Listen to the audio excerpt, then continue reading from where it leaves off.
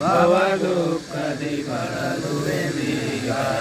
ಭೋವಿಗವ ತರಸಿದ ಕಾರಣವ ಜಗದೊಳು ನೆನೆಯುತ್ತ ಗುರುದೇವ ಮನುಜ ಜನ್ಮವನು ತೊಟ್ಟಿಯವು ಮನುಜ ಜನ್ಮವನು ತೊಟ್ಟಿಯವು ಘನಮಯಿ ಮರಪತ ದೀಪಿಯವು ಮನದೀನ ಗುಣ ತೊಡರಿಯವು ಮುನಿವಂದನೆ ನಮಿಸುತ್ತಿಯವು ಶಿವಮಂಗಲವನು ಕೊಡು ಬೇಗ ಶಿವಮಂಗಲವನು ಕೊಡು ಬೇಗ ಭವ ದುಃಖದಿ ಬಳಲುವೆ ಬೀಗ ಭುವಿಗವ ತರಸಿದ ಕಾರಣವಾ